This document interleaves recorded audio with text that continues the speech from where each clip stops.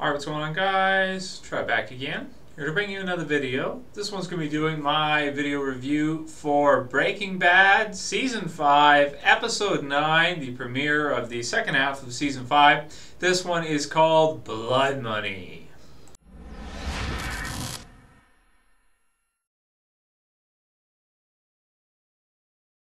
And as always, my reviews do contain spoilers, so for anyone who has not seen the premiere of the final section of episodes or the final part of season 5, episode 9, uh, you may or may not want to watch this. So I was ready, had my Heisenberg shirt on, good to go, uh, ready to go. Uh, okay, so this one for me felt like an event, man. This episode was awesome. Now, I, I, must say that at the beginning of the episode, you know, it was it was really exciting to start. Then there was a bit of a slow part in the middle, and I was thinking, oh, this is you know, the pacing and stuff has slowed down quite a bit, and um, you know, I was starting to think maybe this isn't season premiere worthy.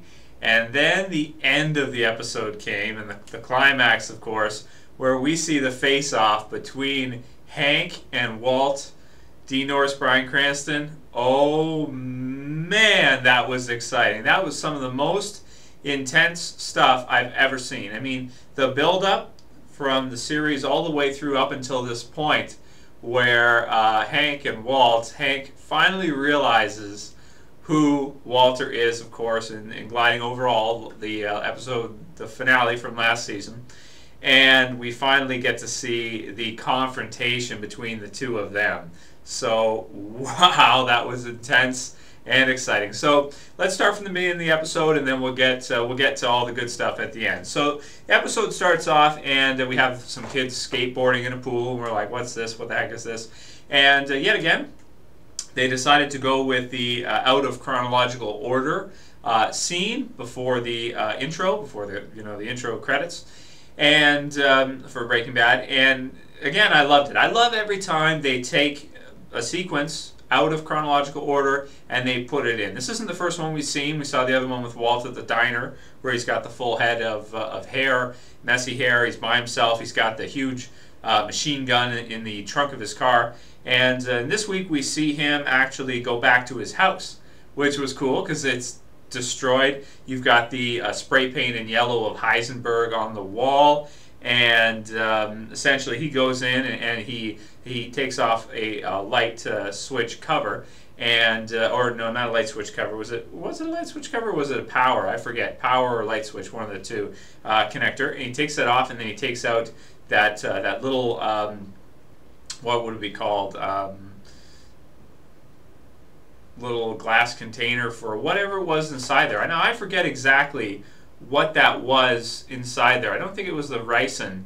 Somebody comment below, let me know, because I don't remember, it's been a while since I've seen a lot of those episodes, um, what exactly that was that he had hidden there and why he felt like it was necessary to go back and get it. But uh, aside from that, so that, that was cool, and I really liked when uh, the neighbor, uh, let's see, what was her name? Carol.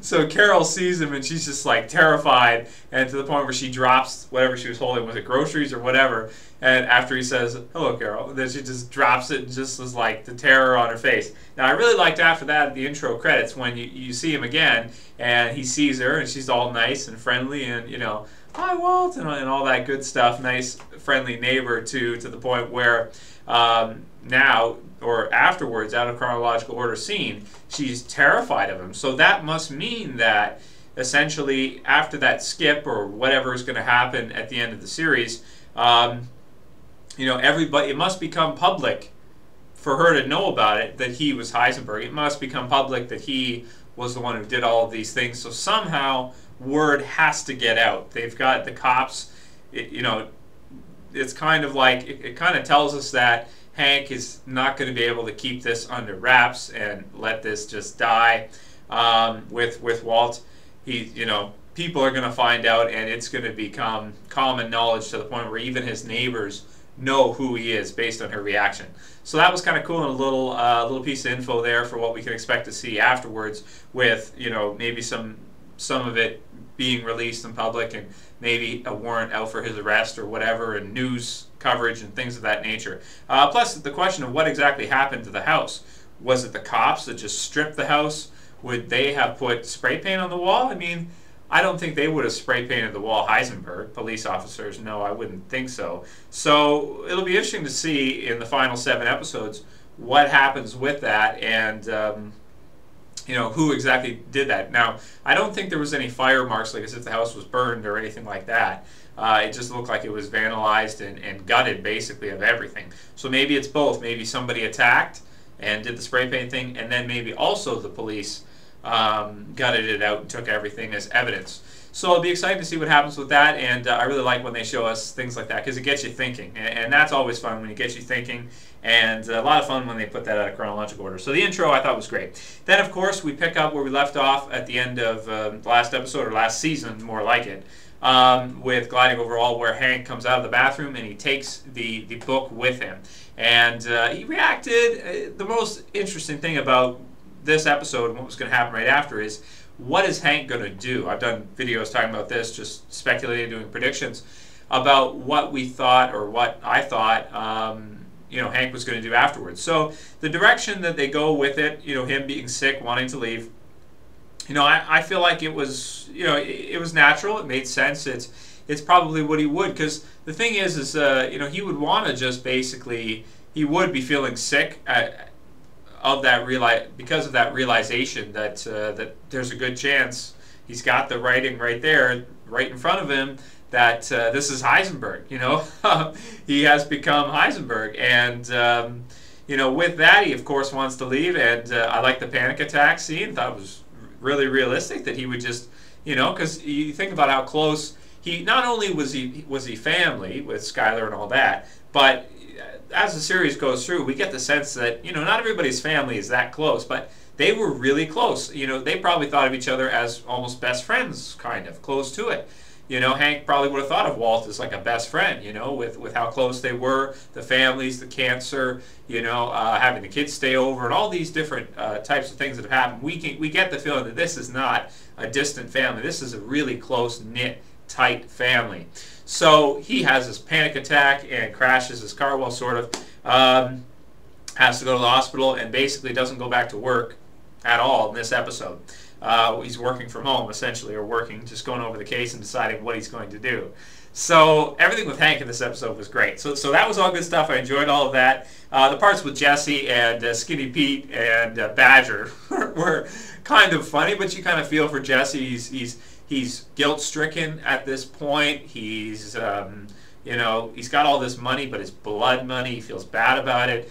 And another great part was the dialogue between him and Walt on whether or not, uh, see, he doesn't know that Walt killed Mike because Mike, well, Walt was the only one there. So, you know, he's kind of rat, he's kind of uh, using logic and deductive reasoning to say, hey, okay, if Mike just left and Walt killed all those guys, all of Mike's guys, then you know Walt would be looking over his shoulder all the time, guaranteed.